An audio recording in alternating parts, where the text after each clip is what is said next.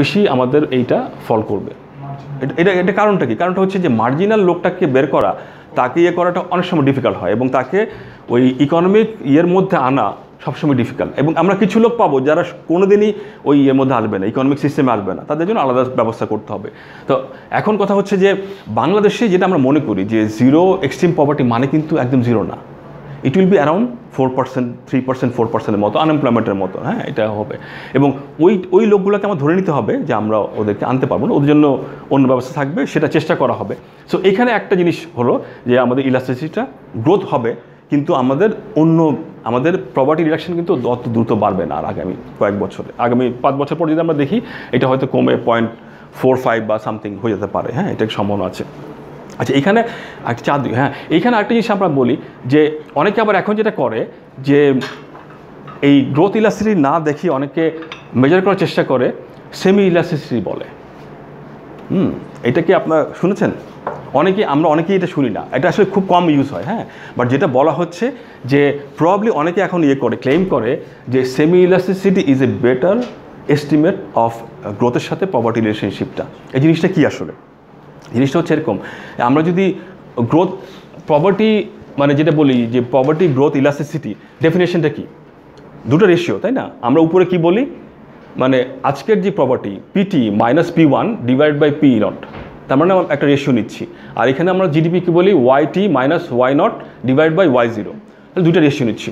এখন অনেকে প্রশ্ন করল যে বেসিক্যালি আমাদের যে নিউমিনেটার সেটা অলরেডি অলরেডি কিন্তু পিটিটাও কিন্তু একটা রেশিও আর পি নট একটা রেশিও তাহলে আমরা কেন আবার ভাগ করব পি নট দিয়ে? এই প্রশ্নটার জন্য তারা বলছে যে বেসিক্যালি এইটার থেকে আমরা যদি এটাকে ডিফাইন করি আরেকটা সেমি ইলাস্ট্রিটি বলছে ওরা, সেটা হচ্ছে নিচেটা ঠিক থাকবে। Denominator will remain same but ডিউমিনেটরে হবে কি পিটি মাইনাস পি নট হবে।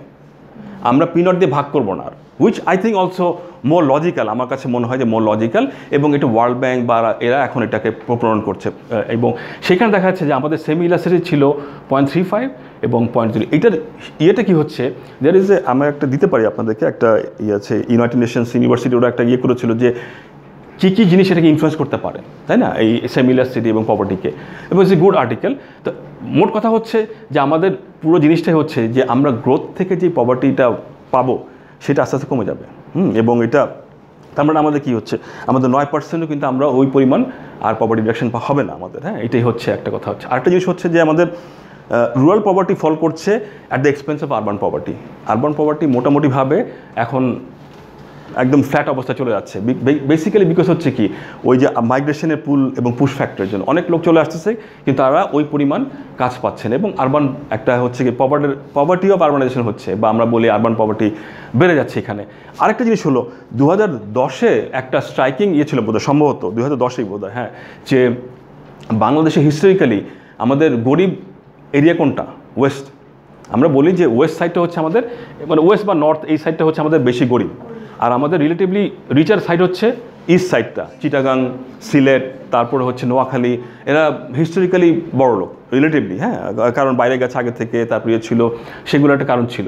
দশে যেটা দেখ- হলো, এটা নিয়ে কিন্তু বাংলাদেশ সবসময় ডিবেট ছিল এবং আমাদের পলিসি লেভেলেও একটা থ্রাস ছিল যে আমরা আসলে ইস্ট ওয়েস্ট ডিবেটটাকে কীভাবে কমিয়ে আনব হ্যাঁ কারণ হচ্ছে যে এইটা কমন উচিত। দেখা গেল যে দশে কিন্তু, দশের এইচএসের অ্যানালাইসিস বলছিল যে ওই ডিভাইডটা আসলে কমে গেছিল। ওইখানে কনক্লুশন ছিল কি? যে দেয়ার ওয়াজ নো ওরকম স্ট্রাইকিং কোনো ডিভাইড ছিল না ইস্ট ওয়েস্টের মধ্যে। কিন্তু এটা কিন্তু আবার এখন ফেরত আসছে। হুম? দু হাজার ষোলো সালে দেখা যাচ্ছে যে ইস্ট ওয়েস্টের মধ্যে ফেরত আসছে এবং ইন্টারেস্টিং আমি পরে সাইডে দেখাবো যে বিশেষ করে রংপুরে, যেখানে সব ডিস্ট্রিক্টের প্রপার্টি কমছে, ষোলো সালে, একমাত্র রংপুরে প্রপার্টি কিন্তু ফাইভ পার্সেন্টের বেড়ে গেছে। তো এটা একটা বড় ইয়ে ছিল যে আমাদের নিউ ইনসাইট ছিল যে কেন হচ্ছে এগুলা।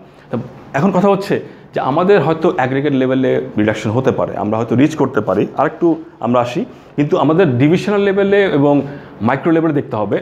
এটা আরেকটা কাজ আমাদের, সেটা হচ্ছে দে- বললাম যে আমি যদি ডিভিশন ওয়াইজ দেখি দু হাজার দশ এবং এটা শুধুমাত্র আপার প্রপার্টি লাইন দিয়ে করা, তাহলে আমরা কি দেখছি? যে এখানে স্ট্রাইকিং লালটা হচ্ছে রংপুর। অন্য সবগুলো, অন্যান্য আমাদের ডিভিশনগুলো অন্য ডিভিশনগুলো বরিশাল, চিটাগাং, ঢাকা, খুলনা, রাজশাহী, রংপুর, সিলেট। এখানে কি দেখা যাচ্ছে? যে রংপুরের প্রপার্টি কিন্তু সরি আপার পভার্টি লাইন যেটা পভার্টি পাঁচ পার্সেন্ট বেড়ে গেছে এই পাঁচ বছরে। তার মানে এক পার্সেন্ট স্কোয়ার প্রতি বছর বেড়েছে। আর এক্সট্রিম পভার্টি বেড়েছে one point one percent point so এটা একটা বড় আমাদের কাছে ইয়ে মানে সবার কাছে এখনও চ্যালেঞ্জ যে এটা কেন বাড়লো? মানে what is the reason behind রংপুরের, এটা বাড়ার কারণটা কি? হ্যাঁ রংপুরের তো এত ইয়ে যাচ্ছে, এত কাজ হচ্ছে হ্যাঁ বিভিন্ন ধরনের কাজের পরেও কেন এটা বাড়ছে? তো এটার একটা হতে পারে যে ওইখানে যে ইয়েটা আছে, নদী যেই সমস্যাগুলা, কুড়িগ্রাম, টুড়িগ্রামে যে সমস্যাগুলা, সেগুলো হয়তো আমরা স্যাট করতে পারিনি বা আমরা ওইটাকে ইয়ে করতে পারিনি। এটা একটা। আরেকটা দেখাচ্ছে যে বাংলাদেশে পভার্টি কমলো, প্রায় ছত্রিশটা ডিস্ট্রিক্ট ছিল ষোলো সালে, যাদের পভার্টি রেট ছিল চব্বিশ পার্সেন্টের বেশি অ্যাভারেজের বেশি। তার মানে হচ্ছে যে হাফ অফ দ্য ডিস্ট্রিক্ট কিন্তু পভার্টি কমে নাই। মানে অ্যাভারেজের বেশি, কমেছে বাট অ্যাভারেজের অনেক বেশি। এর মধ্যে কুড়িগ্রাম আমাদের ছিল সেভেন্টি ওয়ান পার্সেন্টের মতন হ্যাঁ? এবং আমরা যদি আবার দেখি যে ডিসপার্সেন্টটা অনেক বেড়ে বেড়ে গেছে, আবার আমরা দেখলাম মুন্সীগঞ্জ, নারায়ণগঞ্জে ছিল দুই পার্সেন্টের মতো। সো এই যে ডিসপার্সেন্টটা হচ্ছে, এটা কিন্তু একটা স্পেশাল ইনইকুয়ালিটির একটা ইয়ে দেখাচ্ছে যে আমাদের, এবং এরা কি করবে? আলটিমেটলি যদি এরকম হতে থাকে সো আমরা কি মনে করতে পারি? এই দিকে যদি আমাদের উন্নয়নের ইয়েটা না যায়, তাহলে কি হবে? এরা আস্তে আস্তে মাইগ্রেট করবে। ইস্টের দিকে আসতে থাকবে, তারপরে এই জিনিসগুলা, তো ইস্ট তো অলরেডি অনেক বেশি ওভার পপুলেটেড ওরা কতজন, কজন লোককে অ্যাবজর্ভ করতে পারে? তো এই জিনিসগুলা যেমন আমাদের বোঝা দরকার যে বাংলাদেশে পভার্টির ডাইনামিক্সের মধ্যে আমরা যদি শুধুমাত্র উপরটা দেখি, তাহলে আমাদের অনেক কিছু মিসলিডিং হতে পারে। আচ্ছা এটা গেল যে ইস্ট ওয়েস্টের ডিভাইডটা যে আমাদের ইস্ট ওয়েস্ট ডিফারেন্সটা আবার এমার্জ করেছে? এবং আমরা যদি দেখি পভার্টি রেটটা এবং আমরা বলেছি যে রংপুরের পভার্টি রেট পাঁচ পার্সেন্ট এবং অন্যগুলোর কিন্তু খুব বেশি কমে নাই, যেমন রাজশাহীতে এক পার্সেন্ট পয়েন্ট কমেছে? তারপরে যদি আমরা দেখি খুলনাতে একটু কমেছে, ঢাকাতে অনেক, এগারো পার্সেন্ট চিটাগাঙ্গে প্রায় আট পার্সেন্টের পয়েন্টের মতন সিলেটে অনেক বেশি, বারো পার্সেন্ট পয়েন্টের মতন, তো ওয়েস্ট ইস্টে পপুলেশন অনেক বেশি হয়েছে কম্পেয়ার টু ওয়েস্ট তাই থেকে হ্যাঁ? এবং এটা কিন্তু গ্র্যাজুয়ালি এখানে আবার রিমার্চ করেছে ষোলো সালে, যে এটা একটা আমাদের চিন্তার বিষয় যে কেন করল এবং যেখানে আমাদের কিছু কিছু কানেক্টিভিটি হয়েছে, যমুনা ব্রিজ হয়েছে, তাই না? এই এটার পরেও বা আমাদের ওই পরিমাণ যেটা আমরা এক্সপেক্ট করেছিলাম যে ইকোনমিক অ্যাক্টিভিটি বাড়বে, সেই পরিমাণ কিন্তু ইকোনমিক অ্যাক্টিভিটি বাড়ে নাই এখানে। So this are some of the points from the poverty side থেকে যেটা আমরা মনে করি যে আমাদের লাইকলিহুড থাকল যে অন দ্য হোল আমরা এখন এক্সপেক্ট করি বাংলাদেশ হয়তো অ্যাচিভ করতে পারবে। বাট যেখানে হবে যেটা লোকালাইজেশন অফ প্রপার্টি থাকতে পারে অনেক বেশি এবং সেগুলোকে আমরা কীভাবে নজর দিব? সো আমরা মেইনলি কাজ করছি অ্যাট এই অ্যাগ্রিগেট লেভেলে আমাদের কাজগুলো হচ্ছে এখানে। আচ্ছা তারপরে হচ্ছে যে বাংলাদেশে আমার একটা ইয়ে হচ্ছে আমার একটা নিজস্ব থিসিস হচ্ছে বাংলাদেশের ইনইকুয়ালিটি অনেক আন্ডার এস্টিমেটেড আমি আমি ব্যক্তিগত মনে করি। এটা কারণ কি হতে পারে? আমরা ইনইকুয়ালিটি মেজার করি কীভাবে? জিনি কোফিসিয়েন্ট মেজার করি, আর আমরা এখন একটা, আরেকটা নতুন মেজার বের হয়েছে, যেটা মোর পপুলার হয়ে যাচ্ছে, সেটা পালমার রেশিও বলে। হুম? আমি একটু এক্সপ্লেন করব হোয়াট ইজ পালমার রেশিও আমরা কীভাবে করতে পারি। So that's becoming like more popular now এখানে, হচ্ছে আমাদের। হ্যাঁ তো এখানে হচ্ছে যে আমরা কিন্তু আমাদের পভার্টি মানে পভার্টি এবং জিনি বা ইনইকুয়ালিটি এস্টিমেট করি, একটা মাত্র মেনলি একটা মাত্র সার্ভে দিয়ে, সেটা হচ্ছে হাউস হোল্ড ইনকাম ইন এক্সপেন্সের সার্ভে হুম? আমার নিজস্ব হাইপোথেসিস হচ্ছে, এটা একদম আমার পিওর হ্যাঁ এটা বিবিএস হয়তো স্বীকার করবেন না অন্য স্বীকার করবেন আমি মনে করি যে HIS is good for poverty estimate কারণ আমরা যেই, আমাদের পভার্টি রেটটা কত? আমাদের পঞ্চাশ পার্সেন্ট লোকের নিচে। সো এইচআইএস কিন্তু basically they can't never collect information of top twenty percent people কখনই কালেক্ট করা করতে পারে না ওরা। এটা স্ট্রাকচারালি আমরা দেই না কালেক্ট করতে। আমাদের বাসা যদি আসে, আমি হয়তো ঢুকতে দিব না কাউকে, তাই না? তো এই, এইটা হচ্ছে কি? তার মানে হচ্ছে কি, এই টোয়েন্টি পার্সেন্ট লোকের ইনফরমেশন কোথায় আছে? The information is not in HIS I can I can challenge এবং এইচআইএসের আমার সাথে বিবিএসের অনেক লোকের ভালো ইয়ে আছে, ওদের সাথে আমি বলেছি। তারা এটা অ্যাকসেপ্ট করে হ্যাঁ? কিন্তু করার পরেও this is the only data we have যার মাধ্যমে আমরা এটা করতে পারি হ্যাঁ? মানে গভর্নমেন্টের ডাটা তার মানে হচ্ছে কি? যে আমরা যদি ওই বিশ পার্সেন্টের ডাটাটা পেতাম আসলে, তাহলে কিন্তু আমাদের চিত্রটা একটু ডিফারেন্ট হতো। বাট ওইটা ছাড়াও কিন্তু আমরা ওই আশি পার্সেন্ট সত্তর পার্সেন্ট বা ষাট পার্সেন্ট ডাটা যেটা পাচ্ছি, সেটাও কিন্তু আমার দেখাচ্ছে যে আমাদের ইনইকুয়ালিটিটা আসলে বাড়ছে, তাই না? আমাদের গ্র্যাজুয়ালি বাড়ছে। এবং এটা এটা এটা বাড়লে অসুবিধা কী? অনেকে বলতে পারে, আমরা বলছি না যে বাংলাদেশের ডেভেলপমেন্ট যেভাবে আমরা যাচ্ছি, যে দি ডেভেলপমেন্টের ইয়েটা হচ্ছে যে ইনইকুয়ালিটি বাড়াবে। তারপরে হয়তো একটা পর্যায়ে যারা ইনইকুয়ালিটি কমবে। তো এটা এটা হতে পারে বাট এটার, এটা একটা চিত্র হ্যাঁ যে আমরা যদি দেখি যে এটা বেসিক্যালি একটা ওয়ার্ল্ড ব্যাংকের কাজ। সেটা, তারা বলছিল যে বটম সিক্সটি ফোর্টি পার্সেন্ট এবং টপ সিক্সটি পার্সেন্টের মধ্যে ইনকামের তফাতটা কীরকম হচ্ছে। ইউ ক্যান সি দ্যাট যে এই তফাতটা আসলে বাড়ছে, তাই না? এবং সে, তার মাধ্যমে আমরা জিনি কোফিসিটাও আমরা দেখছি, এটা এটা বেসিক্যালি কনজামশন জিনি হ্যাঁ এটা, যেটা থ্রি বাংলাদেশে এটা তিনের কাছে, সেটা হচ্ছে কনজামশন জিনি আর যদি আমরা ইনকাম জিনি দেখি, সেটা four point five four point eight এরকম হবে হ্যাঁ? ওটা কিন্তু ক্লোজ টু অলমোস্ট ফাইভের কাছাকাছি। যদি আমরা মনে করি যে এইচএসের ভালো দিকটা হচ্ছে তাদের consumption estimate rather than income estimate ইনকামটা পুরলি এস্টিমেটেড সবাই এটা বলে বিভিন্ন কারণে। সো এটা বাড়ছে, তাই না? আমি যদি আরেকটা জিনিস চিন্তা করি, যেটা আমি এখন যেটা সবাই আসলে ইউজ করে, সেটা হচ্ছে অনেকে যেটা এখন ইউজ করে, সেটা Palmer issue মোল্লাই what is Palma issue Palma issue বলে যে হাইপোথেসিসটা হচ্ছে এরকম যে মিডল ফিফটি পার্সেন্ট ইনকাম মোটামুটি স্টেবল থাকবে। তারা বিভিন্ন ডাটা থেকে দেখেছে যে মাঝখানে যে পঞ্চাশ পার্সেন্ট তাদের ইনকামটা ওভার দ্য ইয়ার সমান থাকে। চেঞ্জ হয় না, খুব একটা হ্যাঁ? কিন্তু বটম ফর্টি পার্সেন্ট এবং top forty percent ten percent income অনেক বেশি চেঞ্জ হয়।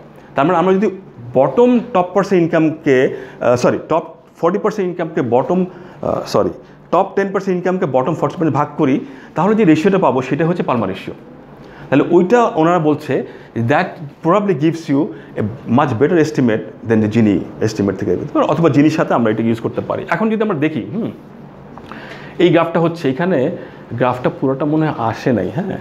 আচ্ছা যেটা আমি দেখা, এটা হচ্ছে যে ওকে অথবা গ্রাফটা সমান হয় সরি হ্যাঁ গ্রাফটা এইটা লাইনটা সমান হয়েছে, এইটা হচ্ছে বটম হ্যাঁ এটা হচ্ছে আমাদের middle fifty percent so middle fifty percent income আমাদের এইটি ফাইভ এইটি সিক্সে ছিল একান্ন পার্সেন্টের মতন।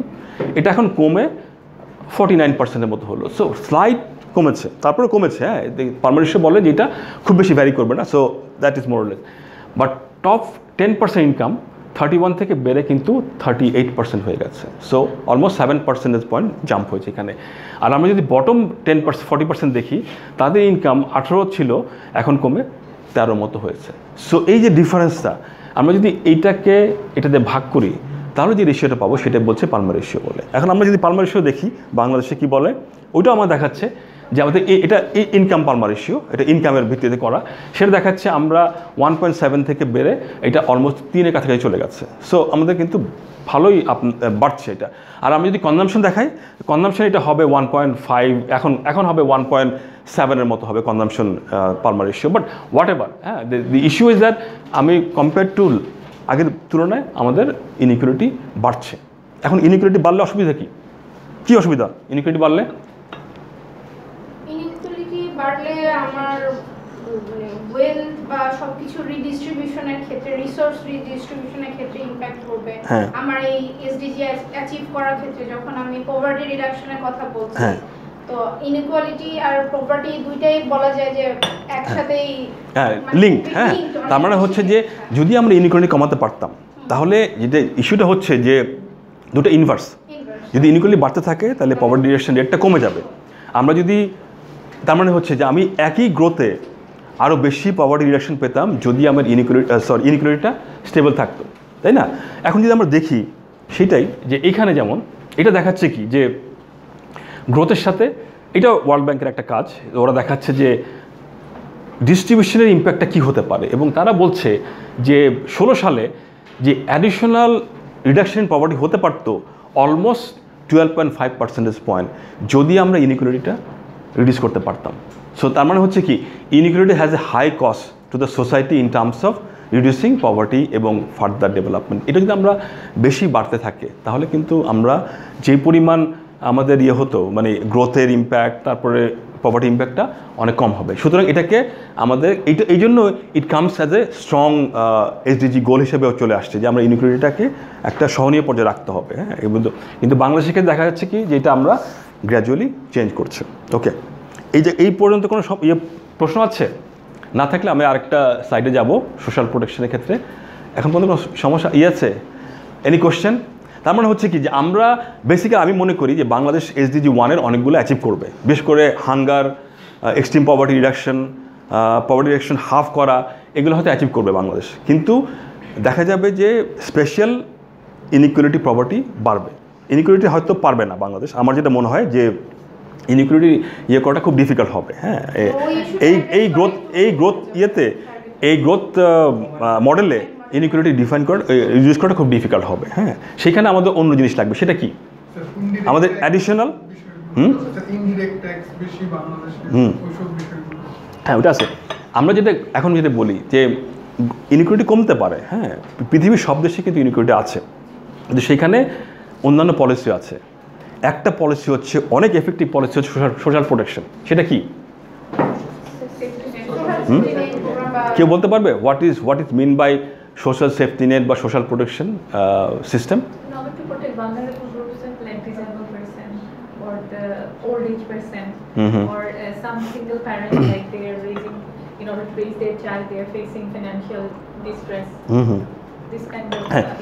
সোশ্যাল প্রোটেকশনের মোটামুটি সব এজেন্সি কাজ করে হ্যাঁ এবং uh, গভর্নমেন্টও কাজ করে। uh, পৃথিবীর যত বড় বড় এজেন্সি আছে বেশ করে UNDP ILO UNICEF World Bank তাদের নিজস্ব ডেফিনেশন আছে এবং তারা ওই ডেফিনেশন অনুযায়ী তারা সোশ্যাল প্রোটেকশন সিস্টেমটাকে ডেভেলপ করেছে ওদের মাধ্যমে। তো বাংলাদেশে আমরা কত খরচ করি সোশ্যাল প্রোটেকশনে অ্যাভারেজে পার ইয়ারে কোনো আইডিয়া আছে? আমরা জিডিপির অংশ যদি হিসাব করি, তাহলে আমরা বাজেট করি না আমরা প্রতি বছর বাজেট পরে তো আমরা বলি যে আমাদের এই খাতে খরচ হলো। এবার কিন্তু গভর্নমেন্ট বলেছে যে আমাদের সোশ্যাল সিকিউরিটি খাতে আমরা বাজেট বাড়িয়েছি এবং আরও লোকে নিয়ে আসব। তাহলে আমাদের এখন ধারণা আছে যে আমরা কত খরচ করি অন অ্যাভারেজ সোশ্যাল প্রোটেকশন সিস্টেমে হুম? আমরা রাফলি রাফলি টু পয়েন্ট থ্রি পার্সেন্টের মধ্যে খরচ করি। দুই থেকে আড়াই পার্সেন্টের মধ্যে আমরা খরচ করি প্রতি বছর জিডিপি হুম? এখন ইয়ে হচ্ছে, আমরা কত লোককে কভার করি? আমরা কত লোককে কভার করি সোশ্যাল প্রোটেকশনের মাধ্যমে? কোনো আর এটা আইডিয়া আছে যে আমরা কত লোকে কভার করি, তাই না? আমরা তো দুই বিলিয়ন মানে জিডিপি টু পার্সেন্ট দিচ্ছি আমরা সোশ্যাল প্রোটেকশন সিস্টেমে তাহলে আমরা কত লোককে কভার করি এটার মাধ্যমে? এনি আইডিয়া কোনো আইডিয়া আছে? আমরা কি দশ পার্সেন্ট লোকে কভার করি, নাকি পঁচিশ পার্সেন্ট লোকে কাভার করি, নাকি তিরিশ পার্সেন্ট লোকে কভার করি? আইডিয়ালি আইডিয়ালি দুটো থিওরি আছে পৃথিবীতে। একটা বলে যে সোশ্যাল প্রোটেকশন দেওয়া হবে টু রিলিভ ফ্রম পভার্টি আমরা পভার্টি থেকে উত্তরণের জন্য সোশ্যাল প্রোটেকশন দিব। তার মানে যেই লোকটা টাকা নাই, তাকে আমি ওই টাকাটা দিব যাতে সে পভার্টি সিচুয়েশন থেকে বের হতে পারে। আরেকটা নতুন থিওরি হচ্ছে, এটা তো আস্তে আস্তে কমে যাচ্ছে না? আমাদের দেশে বাইরেও পভার্টি রিডাকশন হচ্ছে এখন। আরেকটা থিওরি হচ্ছে যে আমার জন্মের পর থেকে মৃত্যু পর্যন্ত আমার যে জীবনচক্র আছে লাইফ সাইকেল বলি, ওর প্রতিটা স্টেজে আমার কিছু রিস্ক আছে। যেমন একদম জিরো টু ফোর বয়সে একটা রিস্ক আছে, তাই না? ইমিউনাইজেশন তারপরে ম্যালনিউট্রিশন এগুলো রিস্ক আছে। আবার যখন স্কুলে যাচ্ছি, সেখানে ড্রপ আউট এই ধরনের রিস্ক আছে। তারপরে যখন আমি কাজে যাচ্ছি ইউথ পর্যায়ে যাচ্ছি বা কাজে, সেখানেও কিন্তু আমার কিছু ধরনের থাকতে পারে, না? আমার ডিজেবিলিটি হতে পারে অ্যাক্সিডেন্ট হতে পারে। তারপর ওল্ড এজে আমার ইনকাম কমে যেতে পারে, তাই না? I I may not have any income to support my old age তাহলে কী হবে? যে ওই তাহলে হচ্ছে যে যদি এরকমভাবে দেখি আমরা, তাহলে প্রত্যেক স্টেজে যে রিস্কগুলো আছে সেগুলো কাভার করার জন্য আমি বিভিন্ন পলিসি নিব। ওটাকে বলা হচ্ছে life cycle based social protection system আরেকটা হচ্ছে যে ওটা ধা আছে তার মধ্যে হয়তো দেখা যাবে ঘূর্ণিঝড় হচ্ছে বা ইয়ে হচ্ছে, সেগুলো কভার করব এইভাবে। সো এখন বাংলাদেশ কিন্তু আমরা আগে কী ছিল? বাংলাদেশে পুয়ার রিলিফ প্রোগ্রাম ছিল সোশ্যাল প্রোটেকশনের থিওরি আমরা ওটা থেকে সরে এসে আমরা এখন লাইফ সাইকেল বেস থিওরি করছি। আমাদের দেশে কত কাভারেজ এটা হচ্ছে এইচআইএসের হিসাব। এইচআইএসের একটা একটা সেকশন আছে, সেখানে ওরা তিরিশটা বড় সোশ্যাল প্রোটেকশন সিস্টেমের ডাটা নিচ্ছে। ওই তথ্য থেকে বলে যে আমাদের দেশে ষোলো সালে এই পরিমাণ লোক সোশ্যাল প্রোটেকশন সিস্টেমের আন্ডারে ছিল। তার মানে সাতাইশ পার্সেন্ট লোক বা আঠাশ পার্সেন্ট লোক রাফলি সোশ্যাল প্রোটেকশন সিস্টেম পাচ্ছে, কোনো না কোনো টাকা পাচ্ছে। হয় ওল্ড এজ বা চাইল্ড বেনিফিট বা প্রাইমারি স্কুলের স্টাইপেন যে কোনো একটা পাচ্ছে টাকা তারা, তাই না? একশো টাকা হোক, তিনশো টাকা হোক, পাচ্ছে এটা। এখানে। আর এটা হচ্ছে রুরালে বেশি আরবানে অনেক কম বাংলাদেশে। আর গভর্নমেন্টে যদি একটা ডাটা দেখি আমরা মিনিস্ট্রি অফ ফাইন্যান্স প্রতি বছর একটা ডাটা রিলিজ করে, সেখানে তারা বলে যে কয়টা প্রোগ্রাম আছে বাংলাদেশে এবং কত লোকে তারা কভার করছে। মিনিস্ট্রি অফ ফাইন্যান্স হিসাব অনুযায়ী কাভারেজটা হচ্ছে বত্রিশ থেকে তেত্রিশ পার্সেন্টের মতন আরও বেশি, তাই না? এখন আঠাশ percent what do think is a good coverage R bad coverage মানে এটা কি ভালো যে আমরা মনে করি স্যাটিসফ্যাক্টরি কাভারেজ আমাদের পভার্টি কিন্তু কত? চব্বিশ পার্সেন্ট সো আমরা বাই ডেফিনেশন চব্বিশ পার্সেন্টের বেশি লোককে কভার করছি সোশ্যাল প্রোটেকশনের মাধ্যমে। বাট ইজ ইট এনাফ বা এটা কি আসলে ইয়ে করবে কি না কেন না? অনেকে না বলছে, কেন না?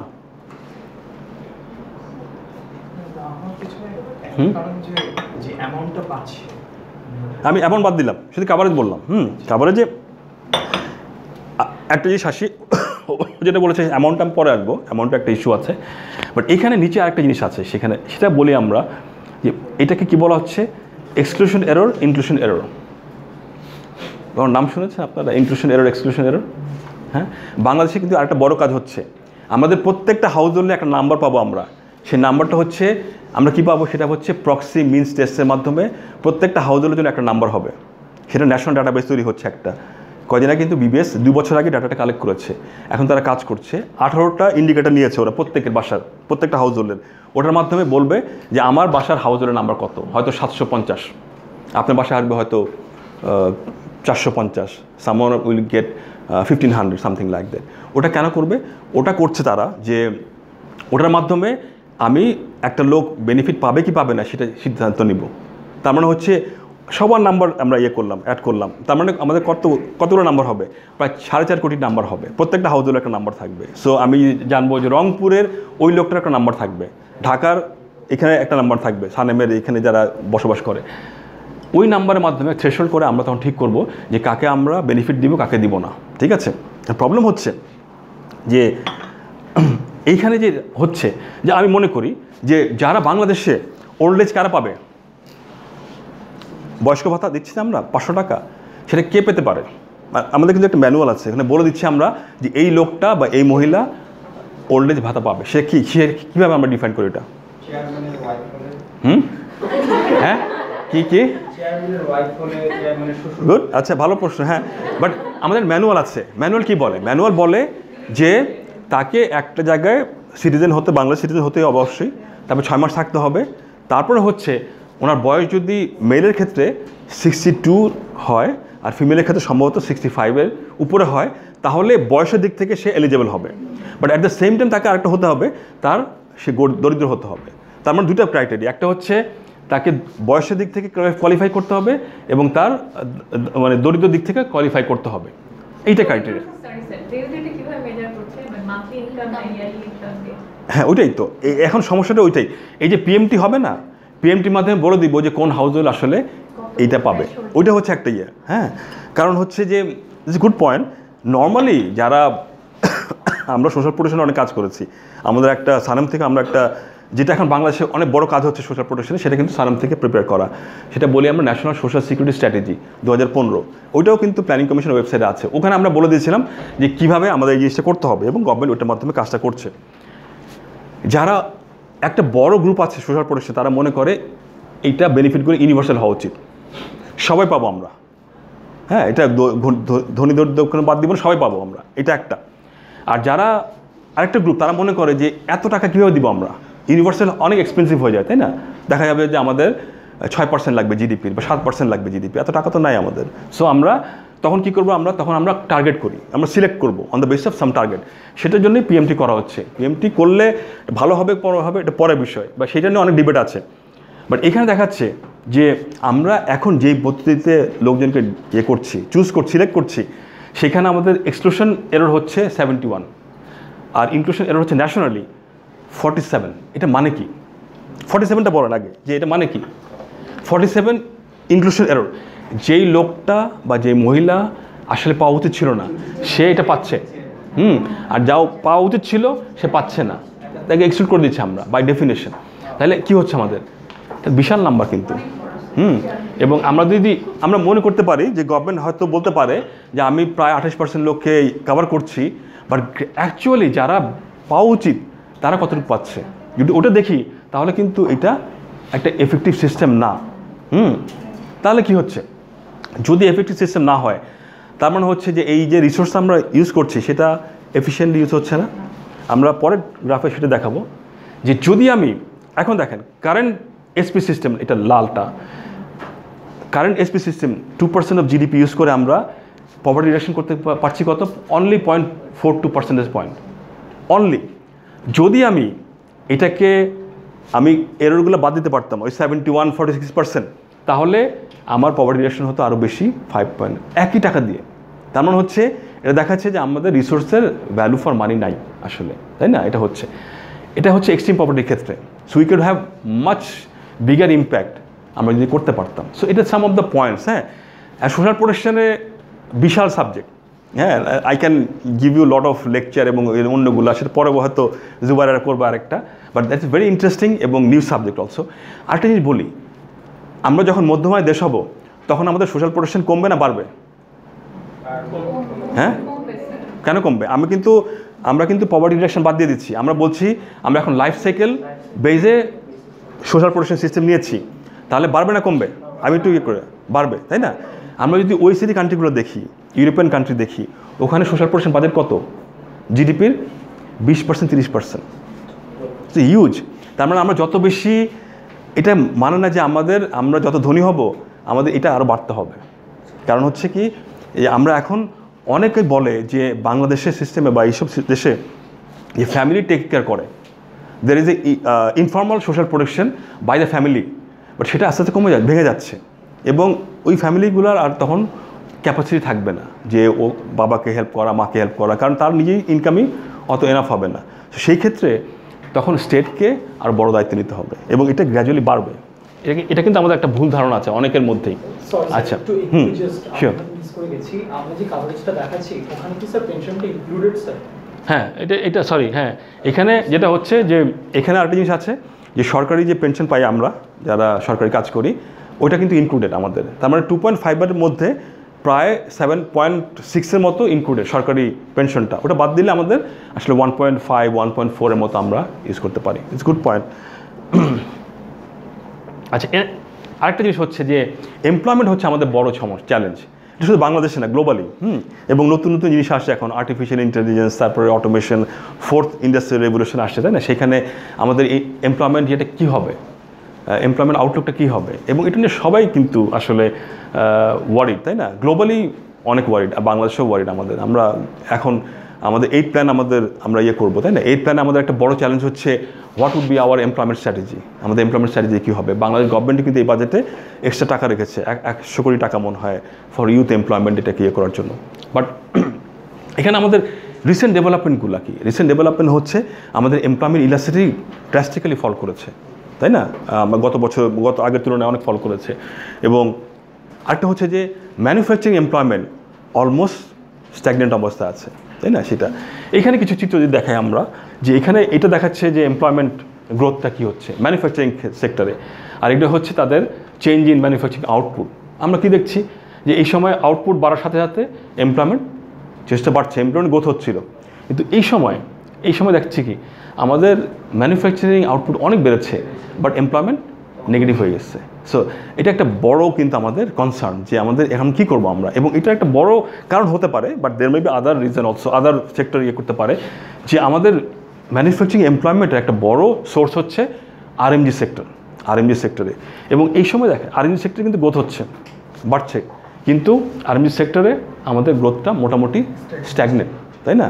সো এখানে দেখা যাচ্ছে যে এইটাই হয়তো এখানে আমাদের একটা রিফ্লেকশন হচ্ছে যে এই পরিমাণ লোক যেখানে আমরা একটা পজিটিভ গ্রোথ পাচ্ছিলাম আরএমজি এক্সপোর্টের সাথে, সেটা কিন্তু আমরা আর দেখছি না এখন।